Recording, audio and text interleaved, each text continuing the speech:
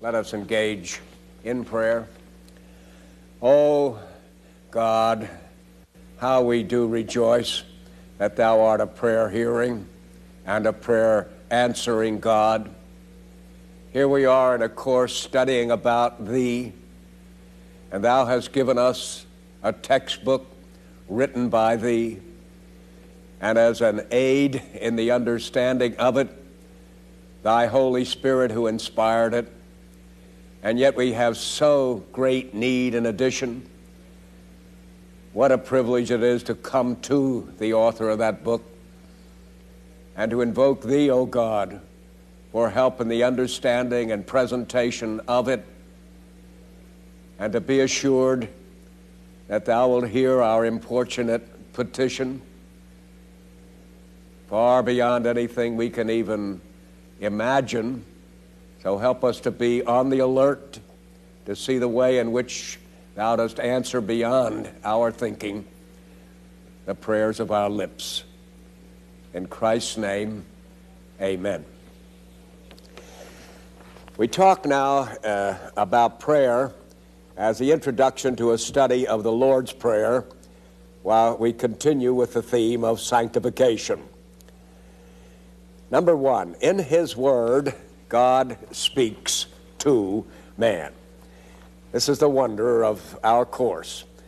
Those of you uh, uh, uh, present for this, I'm sure, have listened to many other series of lectures on uh, religion, but also probably on botany and zoology and economics and philosophy and mathematics and business, homemaking, Every conceivable subject has been mastered by certain men and women, and they communicate their specialized knowledge to the rest of us lay people. But in this particular field, where I have the privilege of lecturing right now, we have a unique textbook, one written by God Himself. No other study enjoys that privilege. As a matter of fact, there you sometimes see jokes about students in science classes who are rushing to the bookstore to buy the book before it's out of date. The developments in certain fields are so rapid that the textbooks can hardly begin to keep pace with the movement. But in this particular field, there's only one book ever given and never any supplements to it. We've had 2,000 years to concentrate on it and understand it, hopefully, better now than we did before, though a great many misunderstandings have perverted its message, and one has to spend a great deal of time indicating what the Bible does not teach if he's to make clear what it does teach. But we do have this incomparable pleasure of knowing that in that book, that textbook, we have a book written by God Himself, the only book that was written by God. And as an addition to that, we have the very Spirit who inspired it dwelling in our hearts to help me understand it and, and teach it, and you to perceive what I'm saying and weigh it against the infallible truth of that book so as to come to an understanding yourself of the very Word of God. And that prayer is our main means of communication with the author of that book, and therefore the ability to understand that book. In true prayer, number two, man speaks to God. I say man, I mean Christian man. You cannot have access to God except through Jesus Christ. As we said in our discussion of the incarnation, there's only one mediator between God and man, and that's the man Christ Jesus. And when I say here in true prayer, man speaks to God, it goes without saying that he speaks to God through Jesus Christ. You can cast yourself on God's mercy you can beg him to forgive your sins, and he may be pleased to hear you. but you have no access to him as your Father. You cannot commune with him except through his Son. That is his appointed way. But through his Son Jesus, we are able to speak with the author of that book. His is an infallible message to us. Ours is a very infallible, very fallible response to him. But it is a response. And the, as we mentioned before, the fallibility and the faults of our prayers are removed by the great intercessor who makes our appeal to heaven to be heard and wonderfully answered.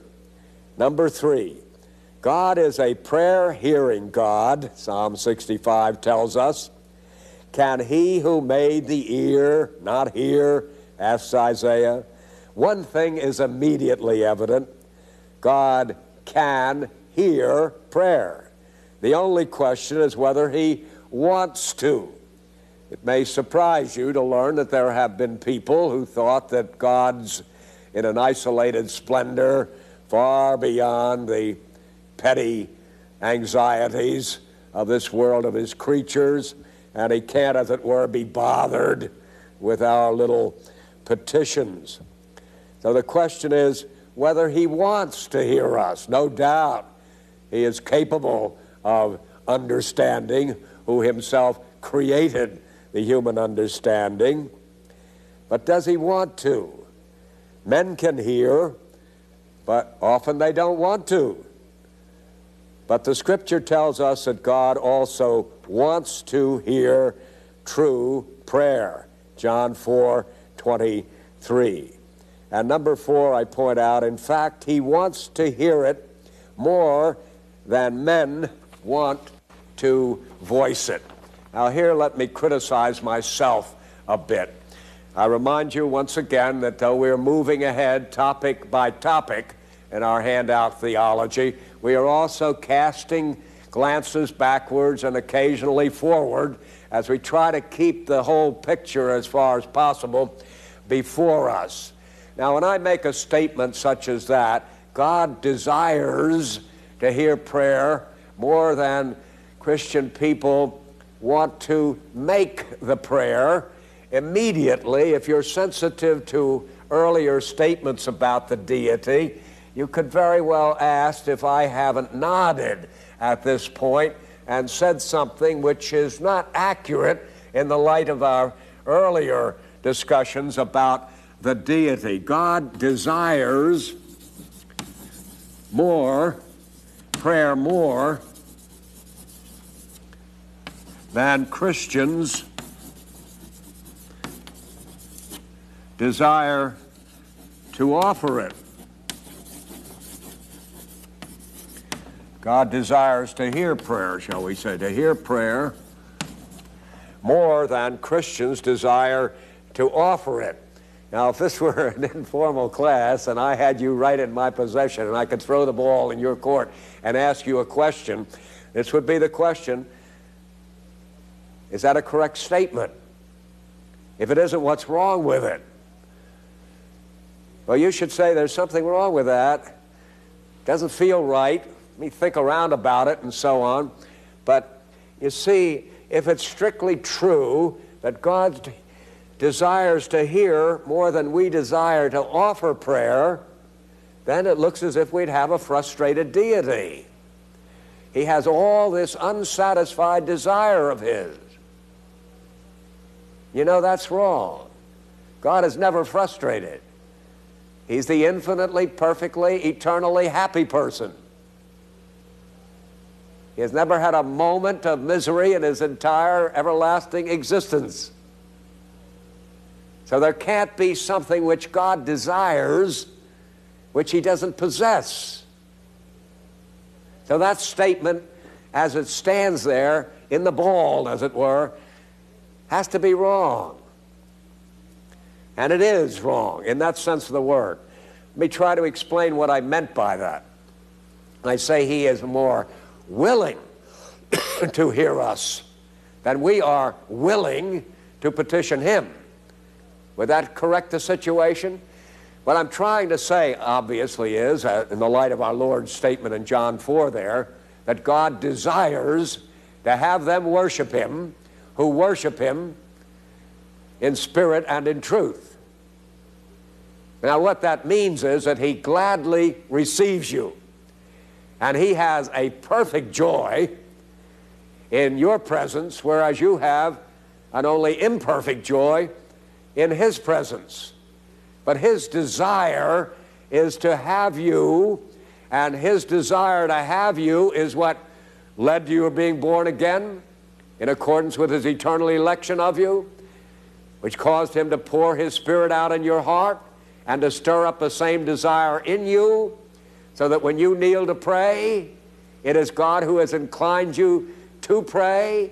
It's His desire to have you call upon Him that has created the desire in your heart which leads you to call upon Him. And His desire is a perfect desire, whereas yours is a very finite and imperfect desire. But it is true that He does have an infinite desire, and you provide only a finite satisfaction of it. But, but, what saves this kind of situation, if you understand it, is that God is able to extract from a finite gift of prayer, as it were, an infinite satisfaction, so that he suffers no frustration. He is able to take your two loaves and few fishes and multiply them infinitely, so that they are the actual occasion for an infinite delight in God, which you are participating in your finite measure. So, to sum up my critique and sort of answer to my own critique here, when we say God desires to hear prayer more than Christians desire to offer it, if that is taken to mean that they never actually give a infinite response to God's desire and therefore leave God frustrated? The answer is that that is only superficially the case. When you understand what happens here, God actually does extract an infinite satisfaction by His power from your very imperfect and finite prayers, and moreover, it is His very desire which accounts for your having a desire for Him. You wouldn't desire to pray if He didn't first desire to have you pray. Your prayer, in other words, is a response to His desire and an outworking of His desire, and in no way a frustration of His desire. Number four, in fact, He wants to hear it more than men want to voice it. The one who has everything and needs nothing wants to hear from the ones who have nothing and need everything, and it's the latter who restrain prayer. I think all of this contrast is justified as long as you'll remember that exposition. Otherwise, you could easily read into this that I'm lapsing from my basic beliefs in the absolute sufficiency of God and the perfect felicity of God by this kind of language when I contrast the meagerness of our desire to exploit this uh, unimaginable opportunity with the infinite desire that God gets out of your prayers, feeble and faulty as they actually are. And I point out it's man who restrains prayer. This passage in Job 15 indicates a person who's been touched by God, influenced by God, but shows by his subsequent restraining of prayer that the Spirit acted upon him but not in him. He was never converted, though, as in Hebrews 6, he tasted of things to come, and he was a partaker of the Holy Spirit in the sense of having an encounter with him. But in spite of all that, his old corruption takes over, and he restrains or gives up prayer. And the giving up of prayer is the same thing as indicating that you never did pray and you never did know God and you never did actually have a saving experience of Him. But the incredible contrast, you see, still stands. Here, as I say, Here, here's a God who has everything. You can't add anything to him. That full bucket problem we've talked about, you know, you can understand how some people would say he dwells in isolated splendor, he needs nothing, and so on. Here, a God who needs nothing and has everything is not only inviting us, he's virtually twisting our arm to come into his presence. The contrast is there, and of course, it's all to the glory of God that he has such an infinite love for such unworthy beings, but the shock of our so meager response considering such an incredible invitation stays with us. Five, imagine that. Among men, it is those who have most and need least who are besieged. Those who have nothing and need everything never stop begging. Uh, I've known a few rich people in my life, and they tell me about this an incredible flow of requests they get from people. It never stops. They have so much more than the generality. These people are always begging favors, asking contributions, gifts, helps, whatever, and so on. Here is the one who has everything. Willing to hear anybody. Promises to give abundantly above anything they can even ask or think. And his throne isn't even besieged. People who have had an encounter with him stop praying, and others never pray all their lives. This is sort of condescending from the sublime to the ridiculous, but I can't help but remember once when I was in Asyut, Egypt, and I was speaking through a, uh, through a translator to a school in Asyut, Egypt. And I told the old story about the man who was on a boat in a little lake which encountered a sudden and dangerous storm. And the man cried out in his peril and said, God, I haven't called on your name in 40 years. And I promise, if you'll hear me now, I won't bother you again as long as I live. Well, I noticed that my TV operator back there smiled at that particular point, but when I mentioned that to about six or eight hundred students at ASU, there wasn't a single smile. Not only no laughter, not even a smile. Now, I know that wasn't brand new, though I think it was somewhat new to Egypt. But uh, you can imagine how uncomfortable I was with that stolid response. I wondered whether the man was translating me or whether people heard me. They were all sitting very politely, and nobody was fidgeting or talking or reading anything. They were all seemingly glued to what I was saying, not a smile. So, uh, well, I asked after the service was over, what in the world was the explanation? Nobody saw any su surprise about it. I, I was totally dumbfounded. And I asked afterward. It was the way the man translated me. The man, they, they, they've never heard that kind of uh, humor, that sort of thing that is sort of common in the States and in Europe, but not in the Orient. And the translator just didn't know what to do with it. And he translated it as saying, The man cried out, I haven't called upon your name in 40 years, and I promise if you hear me now, I'll be faithful to you for the rest of my life.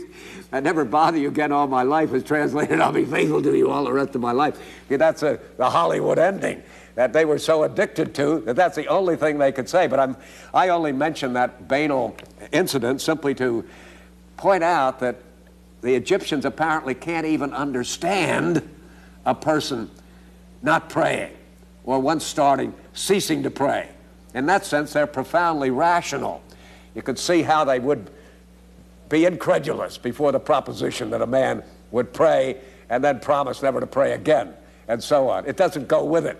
And I say it's a part of this incongruity that this God who has everything will let us ask him and promises to hear and promises to give more than we can ask and so on. And we restrain prayer. His throne is not besieged. It's an incredible proposition indeed. It's no wonder the translator didn't know what to do with that kind of phenomenon. Number seven, since God does not need men or their prayers, why would he listen? Because he is love, and love is outgoing, not self centered.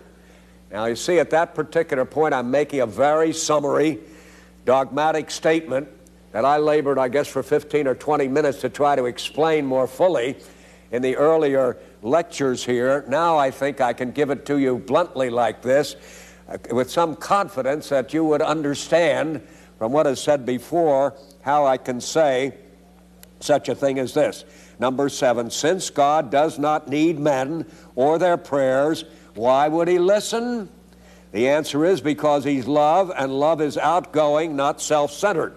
Remember, we touched on that problem earlier that if God actually needs the prayers and the adoration and the service of God, and if that's what actually led God to create man, because God is not sufficient in himself, that he has to create persons for the purpose of adoring him, that would, of course, and people like uh, uh, Spinoza and others have suggested things like this, that would, of course, utterly vitiate the concept of deity. A deity who is insufficient is not the Lord God omnipotent who reigneth, who is very being, who brings all being into existence and is the source of all being in which it participates and so on. And yet here he is begging us to pray, twisting our arm, as I say, to come into his presence and worship him who can gain nothing by it and can only bless those who do it and so on. I say no insufficiency at all. It's a super sufficiency, as Edwards has spelled out, I think I mentioned, in his end or purpose for which God created the world not because God was insufficient and had to create it for his own well being, but that God was super sufficient and created it for its well being. So that the creature would be able to enter into the infinite felicity of the living God, was the purpose of the creation, not because God needed the creation. So I can say very briefly, and I think, uh, trusting you'll understand it, since God does not need men or their prayers, why would he listen? Because he is love, and love is outgoing, not self centered or insufficient. Number eight. Best of all, he will not only listen, he will also answer. Wouldn't it be a great deal of consolation, even though it might fill us with amazement that God would even listen? But just because he would listen, I don't think we would necessarily want to talk with him if he wouldn't listen to our petition. After all, we come to make our needs known before Him, the forgiveness of our sins, the endowment of our daily bread, and such matters that we'll be coming to in the Lord's Prayer in a moment. We certainly uh, could be fascinated by the idea that we could talk with God, but the idea of talking with the God who has everything and not uh, have any assurance that He would hear us and our needs who have nothing and would bless us by it would probably be fatal to a life of prayer. So we're glad to realize He's not only a prayer hearing God, but He is a prayer answering God. Number nine, if you can imagine His hearing, you can't imagine His answering. It is beyond anything we can ask or think. That's the way the apostle puts it, you remember. All right, we can imagine because he tells us that he is a prayer answering God. We have an answering service in heaven there. The Lord not only hears, but He actually answers. But what I'm suggesting in this proposition, that even when we know that, you can see that we couldn't imagine how He would answer it. It would almost be redundant on Paul's part to tell us it would be beyond anything we can think or ask. We're addressing the deity now. He not only knows what we're going to say before we say it, in a certain sense, as I've already indicated, has a good deal to do with our actually saying it. But of course, when he answers, he answers in the infinite style, manifestly. Though I utter a petty human need petition, I'm addressing an infinite God who can answer far beyond anything I could ever imagine. It's like the story I read in the Reader's Digest years ago about this British journalist, you know, who traveled in India where he met one of these fabulously wealthy Maharajas who weighed himself against diamonds. And the journalist had some trinket or other that the Maharaja wanted very badly. And he asked the journalist for it, who gave it to him very casually. And uh, the Maharaja was overwhelmed with gratitude, and he just wanted to know how he could show his appreciation. the journalist was embarrassed by it. He says, It's nothing. Your thanks are quite sufficient. I don't need anything. So he went back, this journalist did, to England. And sometime later, the Maharaja was, oh, yeah, I forgot a part of the detail. He said, uh, the journalist to get rid of the man more than anything else because, as I say, he was embarrassed at so, so profuse gratitude for such a trifling gift and so on. So, as I say, to get rid of the Maharaja, he said, All right, sometime when you're traveling, pick me up a golf club. So, some months later, the story went on that this Maharaja was traveling in Britain.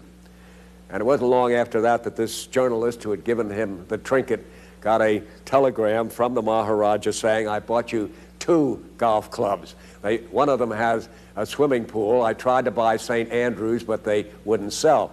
See, for a Maharaja, a Niblick is a whole course, and so on. But we are addressing the maker and breaker of Maharajas.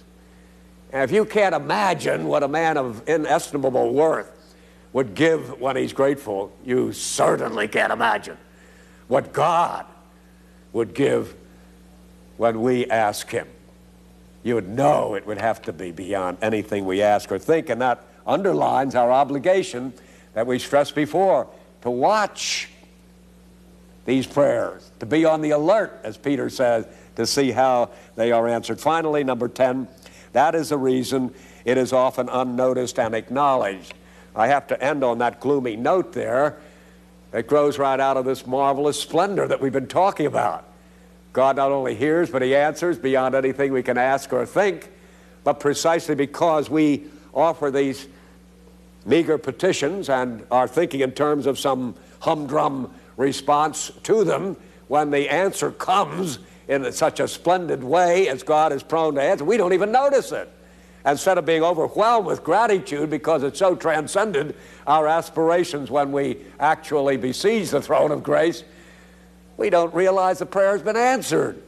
I've had that experience, I'm sure you have, hitting his head months afterwards. They, I had been asking for that all on here. I'm totally surprised when such and such a thing happens. So let's be careful not to forget the infinite sufficiency of our God when he bends his ear to our petitions.